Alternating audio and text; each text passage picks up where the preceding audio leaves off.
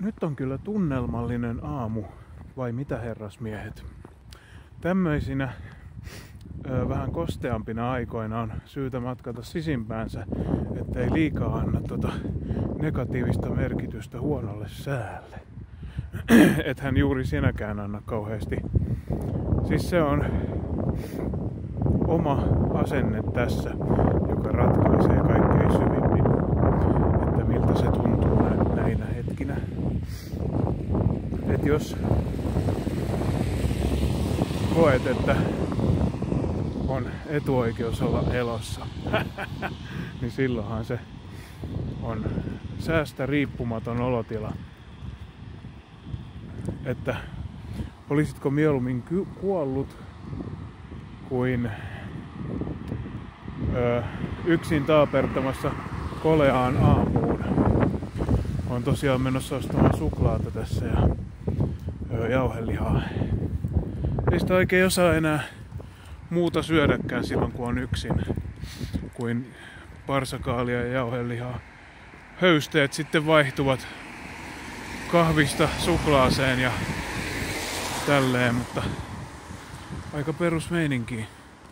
Vähän on jalka vieläkin kipeä, kun tuli monena päivänä käveltyä tosi paljon. Ja... Mutta hyvin tämmöistä lievää kipuilua. Ei sitä aivot ole entisensä. Aivot on muuttunut munakokkeliksi, niin ei pysty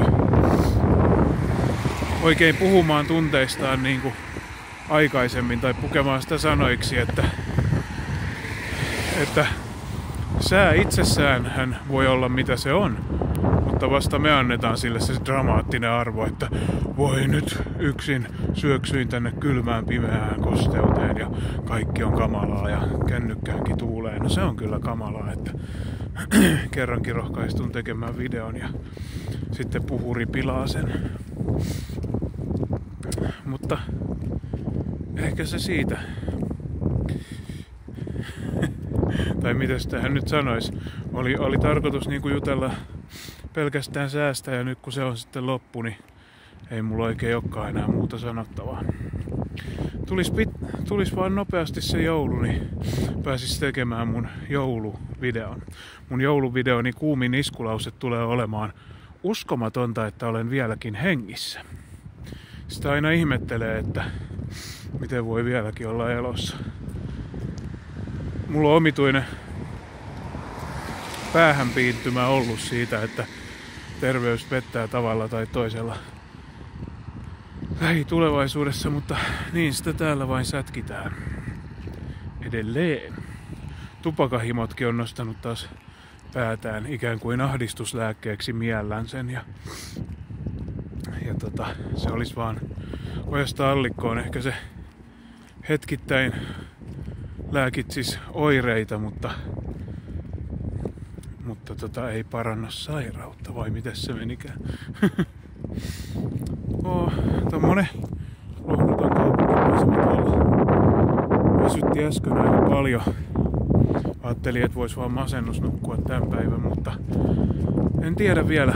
Ehkä tämmönen kolea aamukävely kuitenkin vaatii sen pakollisen aamukahvituokion sitten, vaikka sekin siivittää ahdistuksen uuteen nousuun, mutta tämä elämä on tämmöinen kärsimyksen kehä, kehä. Ja muutenkin järki on siinä, siinä määrin loppusuoralla, että sama se mitä tässä tekee, paha olo on kuitenkin jatkuva. Mutta ei niinkään ehkä tästä säästä johtuen. Olisi mukava, jos olisi tajunnut ottaa vaan ne, mitkä ne on hanskat. Kun kyllä tää vähän ikävästi palelee nyt, mutta sainpahan kuitenkin tehtyä aamutiskit ja kaiken muunkin silleen, että että tota, aamun askareet on suurimmalta, suurimmalta osin hoidettu. Ja nyt sitten jäljelle jää vain syvä uni. Syvä, seesteinen unohdus. Tiedättekö sen kuvan, missä Homer Simpson painaa, onko Bartin naamalle vai kenen naamalle tyynyn ja sanoo Shh, only dreams now. Niin semmonen olo on tässä tänä torstai-aamuna. Tuulee ja kostea tunnelma. Olisi mukava tästäkin videosta, tai tästä, jos olisi vähän laadukkaampi optiikka, niin tarjota teille tunnelmallisia, tunnelmallista kuvastoa Hyvinkäältä, mutta se ei taida nyt ihan onnistua sitten. Kaikki me teemme vain parhaamme, eikö se näin me? Niin tota, niin, niin. Mutta mun mielestä oli tärkeää tarjota teillekin vertaistukea, jotka säntäätte yksin koleaan aamuun ja olisi niinku saatatte olla hieman lannistuneita säätilasta, niin ei kannata olla. Meidän elämässämme on paljon parempiakin syitä lannistua kuin, kuin säätilat. Tää on aika inconsequential, inconsequential tämä koko säämeininki täällä. Se ei ole relevanttia. Ahdistukaamme aidoista asioista tai sen ahdistuksen arvoisista asioista. En tiedä mitkä ne voisivat olla, mutta itse säälin kuvastoa kuitenkin. Jokainen meistä on valmis ja täysin kykeneväinen kirjoittamaan oman itsesäälilistansa ja sen kautta sitten, mikä nyt milloinkin uikututtaa yksilöä, niin mullahan se lista on kanssa pitkä, mutta niin on epäilemättä teilläkin, että en ole En ole Pekkaa pahempi rivikärsijänä niin sanotusti. Kaikilla meillähän on omat kärsimyksemme. Ja mä en voi niissä auttaa, mutta se missä mä voin auttaa on tää säätila, että se ei ole relevantti syy ahdistua tänä aamuna. Meitsikin vois vetää tää lihan täysin niinku I'm singing in the rain. Eikä se niinku yhtään Ehkä mä joskus pystyn vielä pukemaan sen paremmin sanoiksi, miksi se ei ole. Mutta asenne ratkaisee. Asenne, akuutti ahdistus ja muu sellainen herppaa.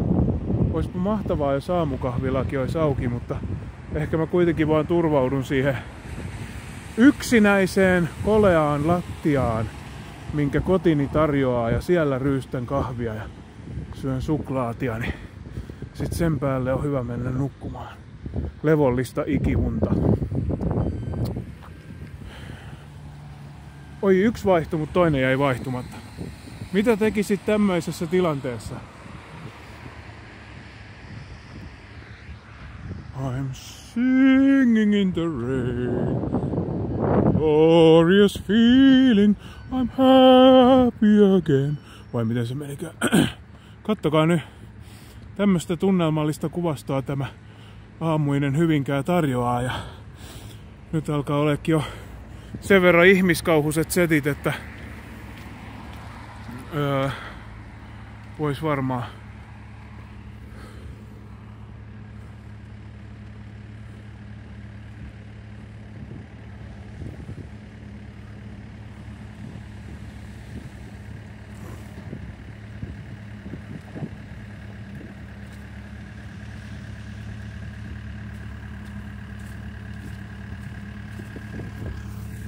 vois varmaan pikkuhiljaa lopetella tässä. Ja ehkä tämä minun lohdutusyritelmäni teille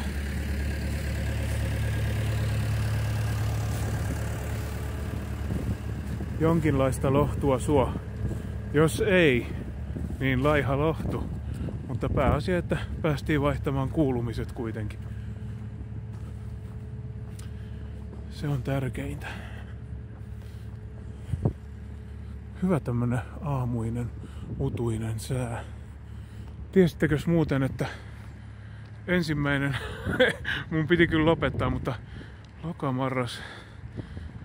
Mulla oli vissi, no en mä, en puhu mun ensimmäisestä romanssistani, mutta se taisi olla tota, 2001 vuonna, kun netti ihastui, ne sain toki pakit, niin